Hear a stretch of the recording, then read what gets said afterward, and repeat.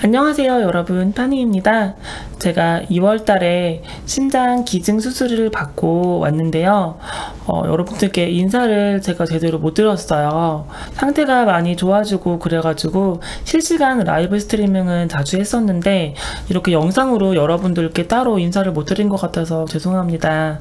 여러분들이 많이 응원해 주시고 걱정해 주시고 격려해 주셔가지고 수술은 잘 끝났고요 저도 많이 좋아지고 있는 단계고 저희 오빠도 아직 퇴원은 못했지만 어, 많이 경과가 좋아져가지고 이제 퇴원을 곧 할 예정이에요. 정말 정말 감사합니다. 앞으로 이제 하나 남은 신장이 몸에 적응을 해 나가는 동안에 3개월에서 6개월 정도는 계속해서 좀 적응 기간이면서 되게 피로감도 많이 느낄 거라고 해요.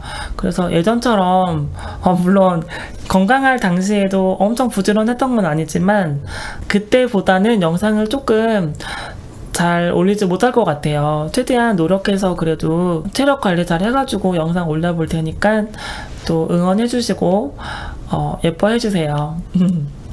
그리고 최근에 제가 ASMR 마이크도 새로 구입을 해가지고 ASMR도 좀 더 진짜 자주 올려보도록 할게요. 미세먼지가 너무 심한데요.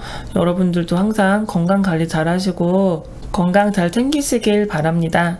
앞으로도 열심히 좋은 영상 올리도록 할게요. 항상 감사드려요. 고맙습니다.